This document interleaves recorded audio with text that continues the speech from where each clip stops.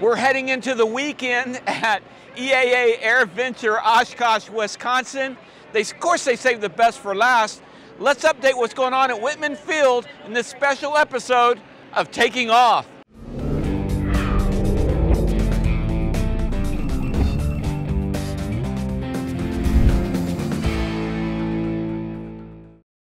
Hi, I'm Dan Milliken, and Taking Off is brought to you by Gold Seal, which is groundschool.com, and Wingfield Maintenance, your go-to maintenance shop for your aircraft. Well, I've learned a lot of things as a, as a first timer at Air Venture, and by talking to the veterans, the ones who have been here a lot, a lot of times, they tell me it's a place to renew friendships and also a place to find new friends. Well, I jumped into that group and finally met Lou Dix face to face at the Flying Eyes booth. Okay, so really what people want to know is, um, and I, I, need you to, to, tell me the magic. How do you develop an accent so that you can gain subscribers on, on so YouTube? It's completely synthetic. So okay. what you do, you know, being a YouTuber, you're obviously on YouTube quite a lot, and you just do, do some searches on YouTube, how to speak like an Englishman to get more views. Oh, I thought you're Australian. End it. Thanks, Lou. Hey, you guys, uh, make sure you check out Lou's channel, and, and maybe he'll show me how to speak in an accent so I can pick up some subscribers too. All right, well, I haven't really taken you guys around the grounds here at EAA AirVenture, so let's go around and check out what's buzzing.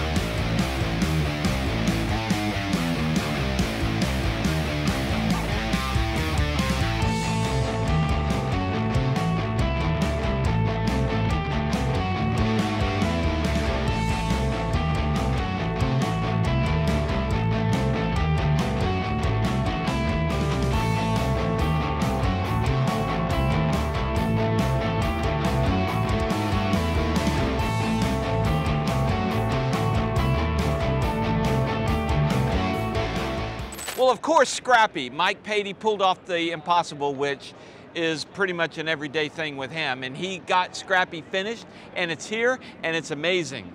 For those that watch my channel regularly know that we do some aviation news rants in the studio, and we have behind us usually a METAR map, a map with all the METAR conditions. I love walking into the office and seeing what the weather is across the country we got a chance to sit down with Richard from METAR Maps and talk about what he's doing and what he's got that's new. Oh, the minis. Yes. Oh, the minis are so cool.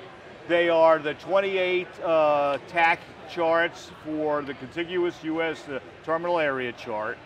They uh, have all the functionality of the new version 3 maps in snack size. Right. So they started at $199 and uh, and because those TAC areas, and it's a one by one frame, the TAC areas have the majority of the population. Right. And so I figured that's a good uh, that's a good market. All right, so now we've got the big maps. I love my big map. You've got the minis, and I, have got a mini now too as well.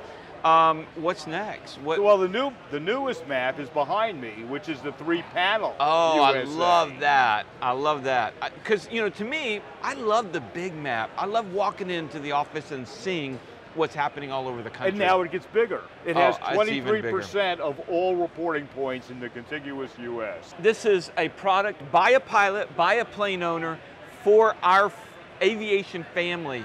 So if you can support it, it's always a good thing. At AirVenture, what's been the, the hottest selling flying eyes? Is it the Aviator Kestrels? Is it the it's Kingfishers? The combination I'm wearing right now, the Kestrel Aviators with our uh, mirrored sunset lens. Um, I mean, one, it's fashionable, but two, it has one of the most neutral hues to it, so people really like that. It's not super dark, but it's still comfortable to see through. What sets flying eyes apart from the other sunglasses?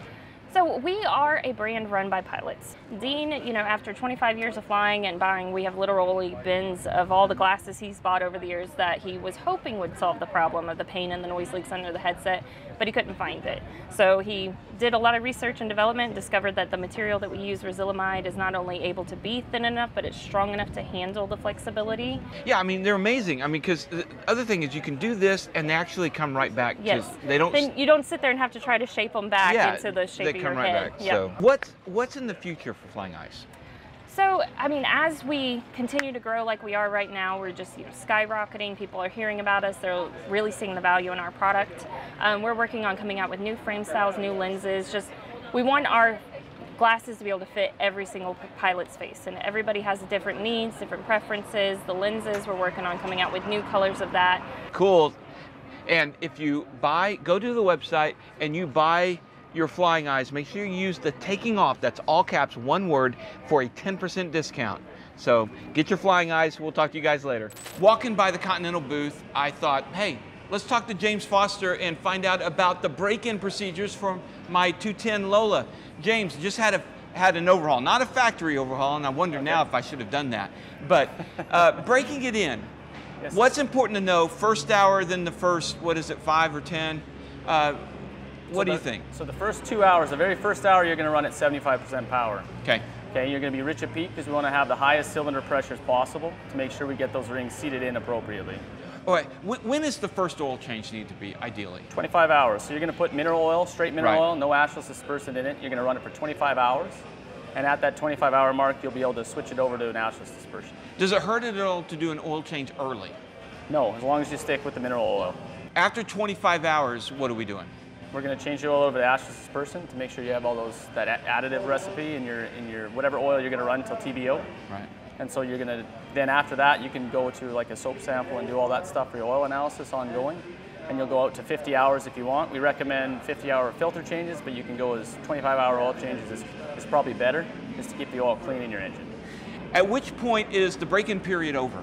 So once their CHTs drop down and settle out, as well as your oil consumption is going to come down and stabilize, because during that break-in you are going to see some oil consumption as those rings break into the cylinder walls. Some blow by. And, and you're going to see higher CHTs because we've got a lot of friction in there as we're knocking that metal, those metal edges off, and everything starts to seat together. And once that's taken place, you're going to see all that stuff come down and stabilize. Generally 25 to it's definitely done after 25 hours. On steel cylinders, it's likely done after just a few hours. Oh, okay, okay. So you'll see it in flight, you'll see those numbers come down. Now, also, I'm supposed to run it rich during this time, not lean. Yes. Well, won't that foul the plugs? No, not if you're doing it at high, higher power settings. Making his first visit ever to the Air Venture was Steve Dickson, the chairman of the FAA, and he immediately was put on the defensive about the new FAA's interpretation on instructing in experimental to an owner's experimental aircraft. What he said was that they're closing a loophole that needed to be closed and also that they're making it easy for you to get a letter of deviation authority or LODA. But at the same time, he said that the ins inspectors won't be on the ramp checking all that kind of stuff. It's left the aviation community still really puzzled and wondering what is going on and who at the FAA is driving this. Yeah, it's, their, it's the FAA's chief counsel. I mean, that, that was the chief counsel's decision to support the court ruling and not challenge it based on there are other rulings, one that occurred in Florida in 1985 that is exactly the counter to what they did. And that should have been a precedent that that, that ruling is out there. And they ignored that ruling and decided to, to put in place their own reinterpretation. So I don't know what it would take to change the mind of the FAA's general counsel, but what they're sticking to is a game changer in our industry, a potential game changer. So we're just going to have to see. All right, we are in the smoking section here as we finish up this daily recap. It's pouring in from the air show that's going on. We're having a blast here at AirVenture. You know, still a day or two left for you to get out here. If not, we'll see you guys next year. And I hope you enjoy these recaps on Taking Off.